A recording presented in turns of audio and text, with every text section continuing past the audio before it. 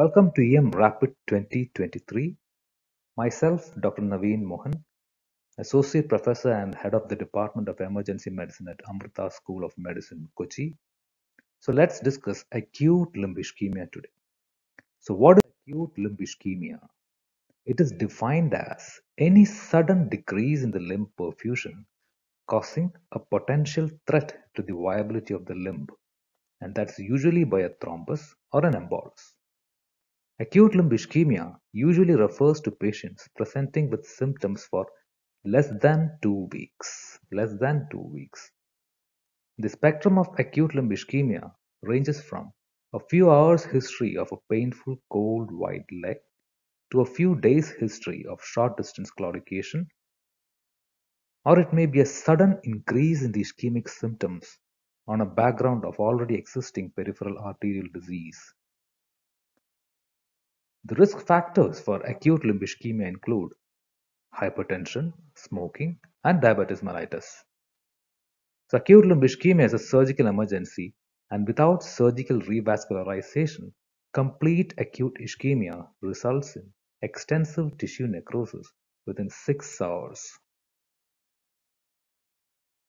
So the pathophysiology. The most common cause of acute limb ischemia is acute thrombotic occlusion of a pre-existing stenotic arterial segment, which accounts for almost 60% of the cases. Acute thrombotic occlusion of a pre-existing stenotic arterial segment. But the second most common cause is embolism. Around 30% of the cases can be attributed to embolism.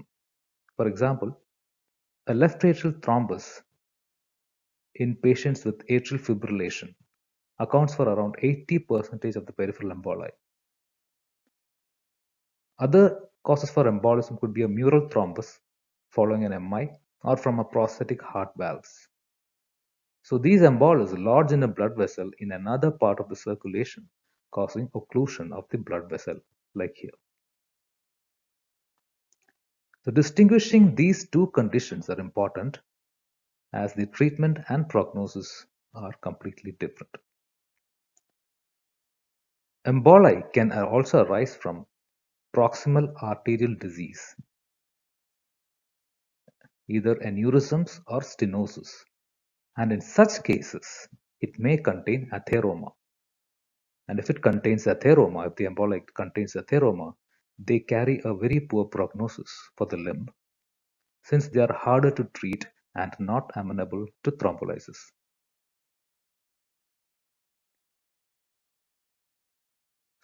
So, the thrombosis may be influenced by any of the factors described in Virchow's triad. I've already discussed Virchow's triad in previous session on uh, deep vein thrombosis.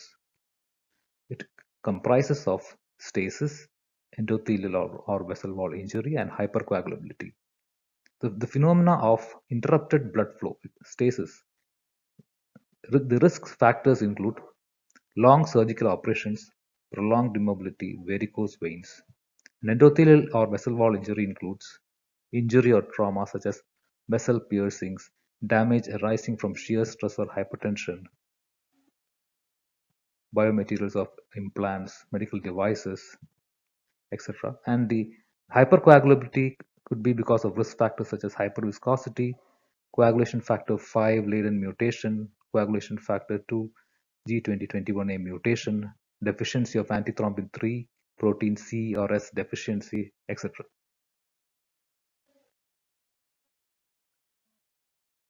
So let's discuss about the other rarer causes of acute limb ischemia. This table has been taken from RCEM Learning. So this is one cause, of vasculitis. Then popliteal entrapment syndrome, compartment syndrome, iatrogenic causes, aortic dissection, graft occlusion, even Raynaud's syndrome. So vasculitis, inflammation of the arteries.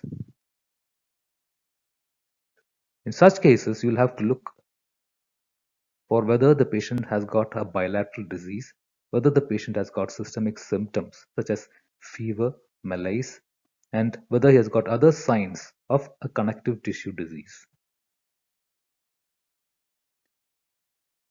To rule out a popliteal entrapment syndrome, should know that the popliteal artery is compressed by the gastrocnemius during plantar flexion. And usually it's uh, seen in a young man uh, after a uh, heavy exercise. That is about popliteal entrapment syndrome. These are very, very rare causes. Then comes compartment syndrome, which means swelling of tissues within the fascial compartment, especially the anterior compartment of the leg, which compresses the artery. So, in such cases, always look for history of trauma. Is there pain on passive movement of the foot? Then comes iatrogenic causes of acute limb ischemia. If there happens to be an injury of usually the common femoral or superficial femoral artery following catheterization, uh, usually seen in uh, recent coronary angiograms, then it could, it could lead to, lead to acute limb ischemia. Then one deadly cause is aortic dissection. Usually patient presents with back pain, hypotension and changing signs, example, uh, palpable pulses over time. So here what happens is the dissection flap may occlude the true lumen of a branch vessel, causing end organ ischemia. So you'll have to so in your in your history and examination you'll have to address all these things. Okay, and one by one you'll have to rule out. Right? Then comes graft occlusion. That means thrombosis of the graft, especially if prosthetic rather than vein. Then here you'll have to ask for a history of previous vascular surgery. Always look for scars. The severity of ischemia will depend on how quickly it has blocked. The previous stenosis may allow collaterals to develop. So in your history and examination, you will have to ask or address all these things and rule out all these causes vasculitis, popliteal entrapment syndrome, compartment syndrome, iatrogenic aortic dissection, graft occlusion. For that, you need to take a proper history and do a proper examination. So let's discuss the difference between a acute limb ischemia caused by an embolus as well as a thrombus. An acute limb ischemia caused by embolus, onset is usually acute, happens over seconds to minutes, whereas in thrombus it will be insidious over hours to days. Ischemia in acute, in, in case of embolus, usually is prolonged because there is no collateral circulation. But in case of a thrombus, ischemia is less severe because there are several collateral uh, vessels. There is collateral circulation is there and hence this less severe than that of an embolus. In case of embolus, there is not usually a history of claudication and pulses are usually present in the other leg. Whereas in case of a, a thrombotic occlusion, there will often be a history of claudication and pulses in the other leg may also be present. In case of embolus, the skin changes of the feet, for example, marbling and all may be visible, and this can be a fine reticular branching or mottling in early stages progressing to coarse fixed mottling. Whereas in a thrombotic occlusion, skin changes are usually absent. So this is how you identify embolus from a thrombus by the history, the clinical change history as well as clinical examination. So the examination findings, usually we always talk about the six P's. That means pain, pallor, paresthesia, paralysis, perishing cold, pulselessness. And the classical signs, the six P's may be attenuated in patient with a already pre-existing peripheral arterial disease and with collaterals. And in all such cases, arterial Dopplers should be performed. Okay, so whatever the clinical, if you suspect any of these things, the acute limb ischemia, you should always do a, a Doppler exam, arterial Doppler examination. So the pain in acute limb ischemia ranges from acute onset short distance claudication to rest pain, and uh, it may be relieved on dependency the, by hanging the legs over the bed. And aggravation on passive movement of the muscles indicates potential compartment syndrome. So this has to be ruled out. The compartment syndrome always has to be ruled out by doing a passive movement of the muscles. Then comes pallor. Acutely ischemic limbs are classically white rather than blue. and chronic critically ischemic limbs may appear pink due to the compensatory vasodilatation, the so-called sunset foot. Sunset foot. And in this situation, the Buerger's test may also be helpful. That means pallor on elevation of the limb with erythema on dependency. That is the Buerger's test. And about paresthesia, it is paresthesia is present in over 50 percentage of the cases. And sensory nerves are more sensitive to ischemia than motor nerves, so tend to be affected first.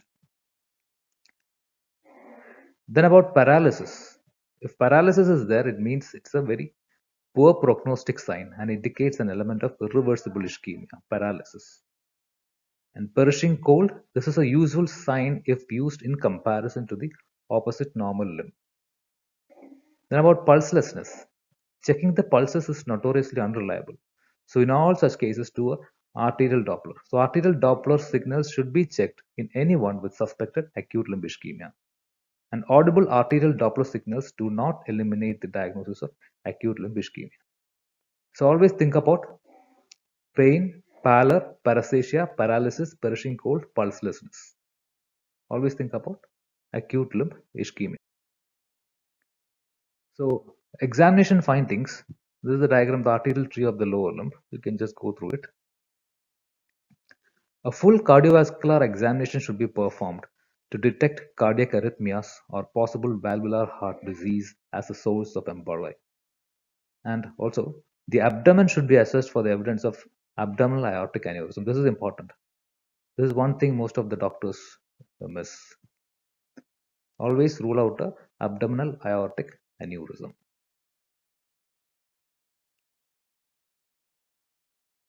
So, on the affected leg, once history taking is over, proper history has been taken, then you will have to uh, do an inspection, palpation, auscultation, all these things.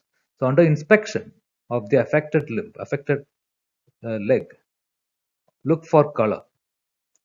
White color suggests acute ischemia. A fixed mottling of the leg is a poor prognostic sign and implies irreversible ischemia. Chronically ischemic legs may appear pink or blue. Dry gangrene is also a late sign and consistent with chronic irreversible ischemia. Patients with classical emboli have a white leg with a normal leg on the opposite side. In patients with thrombotic occlusions, the signs may be more subtle since collaterals may have formed due to pre-existing peripheral arterial disease. Then look for any scars on the leg. Look for scars of previous surgery. Surgery on the abdominal aorta may be uh, via a midline or transverse incision. Patients who have had a endovascular vascular abdominal aneurysm repair will have scars on the groin. And do not forget behind, behind the knee, patients who have had a popliteal aneurysm repair may have a vertical scar behind the knee. So this is about the inspection aspect, color, scars. Moving on to the palpation. Always, as always, you look for temperature. Always compare to the opposite leg. Check for pulse, pulses. Determine whether the patient has a palpable femoral pulse or not. Check the capillary refill time. Check for any limb tenderness. Tenderness again is a poor prognostic sign as it suggests muscle ischemia. Check for pain on passive movement. If that is there, it suggests compartment syndrome and that requires immediate vascular referral for urgent intervention. And always check for neurological function. Test both the sensory as well as the motor function. Okay, test both sensory and motor. Loss of sensation is common. Loss of motor function is a poor prognostic sign. And any neurological deficit implies the need for emergency intervention. So you have to go systematically. History, inspection, palpation, auscultation. Auscultation, you always do a handheld Doppler for all patients with suspected acute limb ischemia to look for arterial flow and always compare these to the opposite leg. Also, we'll be doing a ankle brachial pressure index, ABPI. to help assess the severity of ischemia when the Doppler signals are audible. So what is ABPI? It is the systolic pressure in the pedal arteries divided by the brachial artery pressure. So you can, a manual sphygmomanometer BP uh, apparatus is placed around the lower leg and inflated until there is no audible pedal Doppler signal. The cuff is then slowly deflated until the arterial Doppler signal is audible and this is the ankle pressure. And the brachial pressure is also measured in the same way. So ultimately, the normal expected ABPI range from 1 to 1.2. But for patients for having claudication will have ABPI from 0.6 to 0.8. And patients with critical ischemia, defined as rest pain or tissue loss, usually have an ABPI of 0.2 to 0.4. Diabetics may have falsely elevated ABPIs due to calcified incompressible arteries. So it's essential to fully examine both legs. The comparison between the normal and the abnormal leg will often aid both diagnosis and determining probable etiology. So the classification. The purpose of the history and examination is to determine three things, the, the major three things. Is the leg acutely ischemic or is there an alternative diagnosis? Is the likely cause embolic or thrombotic? Is the leg viable, threatened or irrevers irreversibly ischemic? So these questions have to be answered. This is the ultimate purpose of taking the history and examination. Is the leg acutely ischemic? Is the likely cause embolic or thrombotic? Is the leg viable, threatened, or irreversibly ischemic? The answers to these three questions will determine the immediate management. So this is Rutherford's classification of acute limb ischemia. It's divided into class 1, 2A, 2B and 3. So class 1 means it's viable. Class 2A, it means the limb is threatened but salvageable if promptly treated.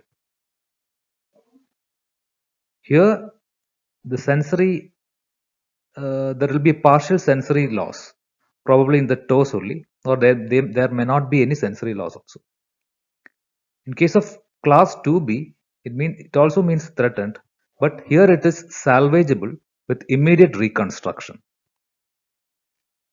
Here the sensory loss will be partial. That means more than the toes. Sensory loss will be more than the toes or there, there will, it will be complete sensory loss. But the major thing to be noted here is there will be partial paralysis. The motor aspect there will be partial paralysis. And when it goes to class 3 it is irreversible. It means there is major tissue loss or permanent nerve damage is inevitable. And here there will be a profound paralysis, rigor or profound anesthesia. So this is this is important because this questions have been framed around uh, this table, especially in MRCEM and FRCEM SBAs. So the sensory motor deficit helps identify limbs in need of urgent intervention. Fixed staining and profound paralysis are signs of irreversible ischemia. So in class 2A, there will only be there, there will not be any paralysis. When, But in class 2b, there will be partial paralysis.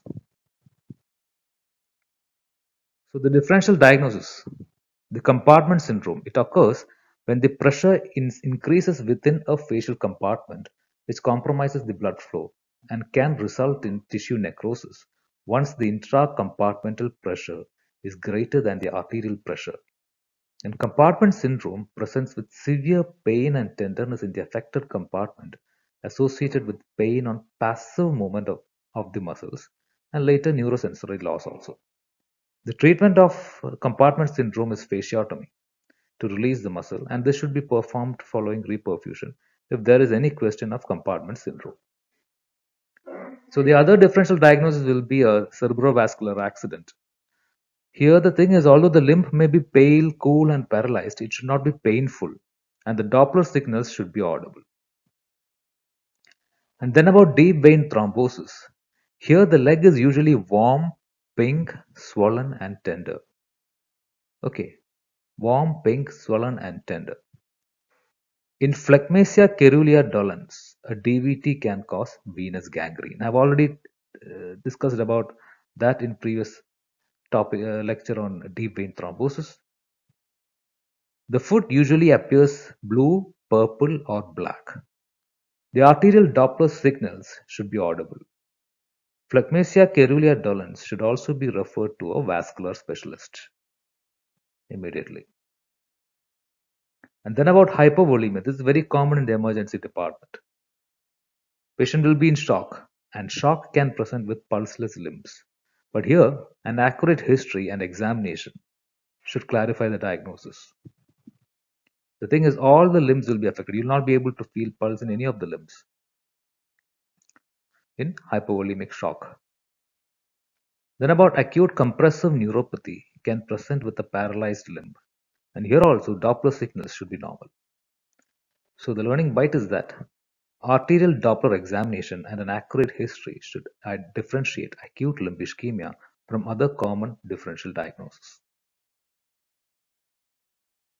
Investigation strategies in acute limb ischemia will have to do an ECG to diagnose atrial fibrillation or other cardiac arrhythmias or another acute cardiac event, which may be a source of emboli. Ultimately, the thing is we'll have to find out the source of emboli.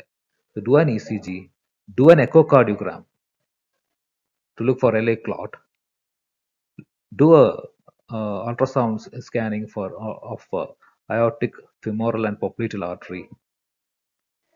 The blood tests relevant to the suspected acutely ischemic limb are listed here full blood count to detect for hematological disorders predisposing to thrombosis. I've already discussed the Virchow's triad. No? So they rule out the hematological disorders predisposing to thrombosis. The urea and electrolytes, patients are often dehydrated and potassium may be raised if muscle necrosis has occurred. Glucose to screen for diabetes. Creatine kinase, it may be raised if muscle ischemia has occurred. Clotting time. It is rare to detect clotting abnormalities, but it is usual to check before prescribing heparin, because that is a treatment. Then grouping and cross-matching and all, because patient may have to undergo surgery as always, preoperative investigations. Then arterial blood gas analysis to look for acidosis secondary to ischemia. And if uh, the patient is acidotic, the most initial uh, important initial management is rehydration. And about imaging, the urgency of imaging depends on the presentation. Conventional imaging consists of a digital subtraction angiogram. This is an invasive procedure using intra-arterial contrast, but the potential for therapeutic intervention, thrombolysis and angioplasty, MR angiography and CT angiography are less invasive and should provide the same anatomical information. Arterial duplex is non-invasive, but is an operator-dependent, and iliac and calf vessels can be difficult to image. The choice of imaging is likely to depend on the local resources available. So in ED, the initial management will be analgesia, oxygen, heparin, IV fluids, and referral to vascular surgery. So analgesia, there is no specific analgesia for ischemia but anticipate the potential for high analgesic requirements, particularly if there's an element of uh, compartment syndrome, in which disproportionate pain to the clinical appearance is a feature. So IV opiates are likely to be required as part of a multimodal approach, and patients with limb ischemia are likely to be vasculopaths. NSAIDs may increase the risk of myocardial events and should not be used routinely. And neuropathic pain may sometimes be associated with critical limb ischemia then all patients should be administered supplemental oxygen. Then heparin, 5000 international units of heparin, unfractionated UFH, should be given immediately to all patients with acute limb ischemia, even if they are likely to be undergoing surgery or angiography. So this is basically to prevent propagation of the thrombosis. In patients in whom definitive treatment is deferred, an IV heparin infusion should be prescribed. Then about IV fluids. So patients with acute limb ischemia are often dehydrated. And in addition they are likely to be undergoing surgery or being given iodinated contrast which will be a further renal insult and reperfusion of ischemic tissue releases toxic metabolites potassium creatine kinase myoglobin which can further damage the kidneys and the administration of potassium should be avoided so that is the rationale behind giving IV fluids. Ultimately, always refer to a vascular uh, specialist urgently. Any delay risks jeopardizing the limb, particularly if there is a sensory motor impairment. So this is about initial management in the ED. So the definitive management is usually done by the vascular surgery. This is based on Rutherford's classification. This is where Rutherford's classification is important. So in category 1, it means the viable limb. All these patients with a viable limb and you're suspecting uh, acute limb ischemia, they should be admitted, given analgesia and oxygen and heparin infusion. And the formal imaging, angiogram, MR angiogram, CT angiogram or arterial duplex uh, should be done depending on the local resources uh, to plan definitive treatment. Then about, then about uh, category 2A, uh, means that the patient have a threatened limb okay but they can wait so they should be given oxygen analgesia heparin as, as in category 1 and ideally they should have an immediate imaging in order to guide uh, operative or intravascular intervention. In all these cases you'll have to do an either operative or intravascular intervention. But in some cases where there is a minimal sensory loss only where there is only a minimal sensory loss uh, they may be managed conservatively overnight. And imaging obtained the following day. Okay. This is about category. Just look at the previous slides in which i have mentioned about rutherford uh, classification then about category 2b so these patients have a threatened limb and cannot wait overnight. So they need urgent revascularization either operatively or with thrombolysis. The imaging may be acquired while the patient is in the theater. So category 2 2b means urgent revascularization either operatively or thrombolysis. So in a patient with a clear history for embolus and the source of embolus is identified and the normal contralateral limb, an embolectomy may be performed under local anesthesia. And in all cases, an anesthetist should be present to manage the patient medically during the procedure. Following the revascularization, the limb may swell and the need for fasciotomy should, should always be considered. Then about category 3, these patients usually have irreversible ischemia and the limb is not salvageable. Here the options are either amputation or palliation. Here revascularization attempts should not be done because that may cause a reperfusion syndrome which causes multi-organ failure and death. So this has to be understood. So you can, for exams, you may get several uh, clinical scenarios in which patient will have paralysis and stuff like that. So you'll have to identify under which category the patient is. Is it, is it under category 2A or category 2B? Depending on the clinical features, you'll have to identify. And depending on that, you'll have to uh, advise your treatment. About thrombolysis.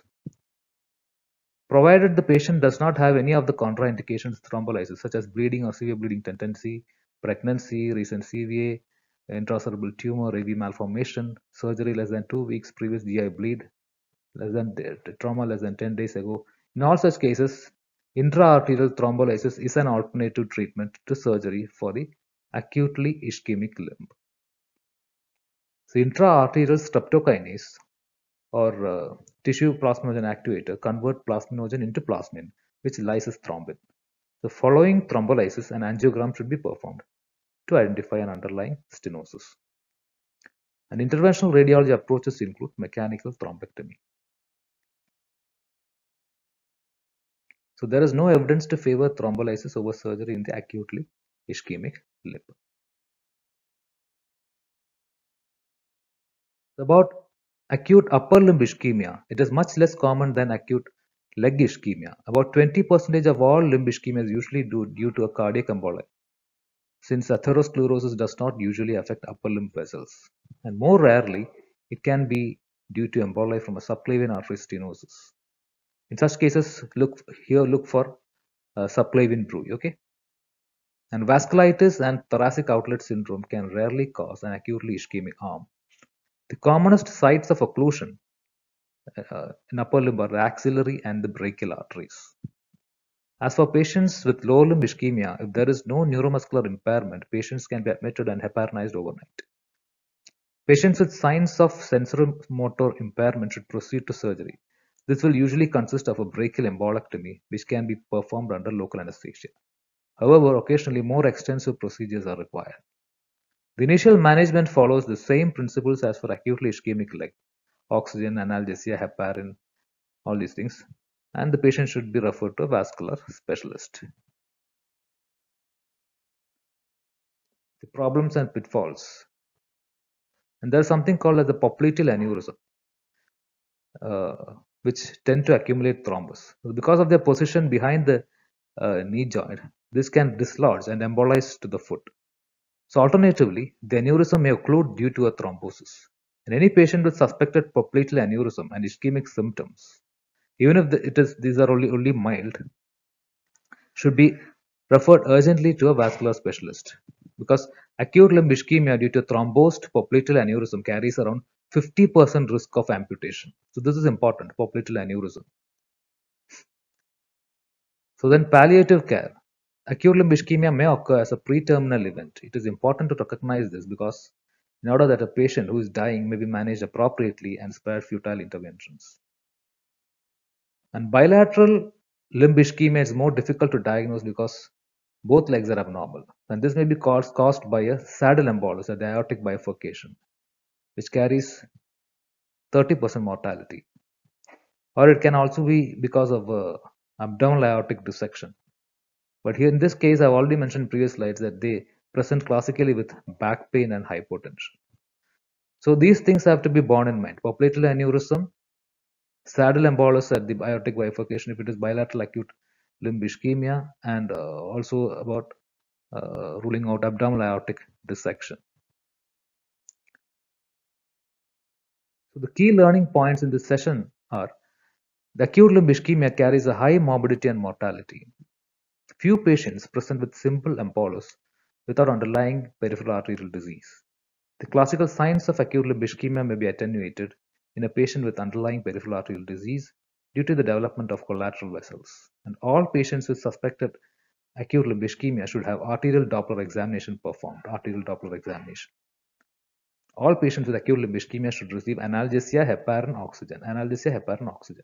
An assessment of sensory motor deficit helps determine the urgency of intervention. So this is very important, sensory motor deficit assessment. And patients with no or mild sensory loss should proceed to formal imaging, usually angiography, prior to intervention. Patients with motor deficit may proceed to theatre for intervention with on-table imaging.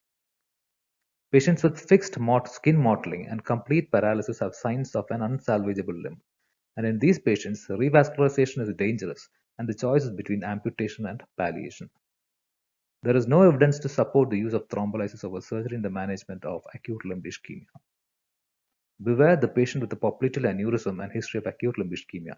A thrombosed popliteal aneurysm carries 50% risk of amputation.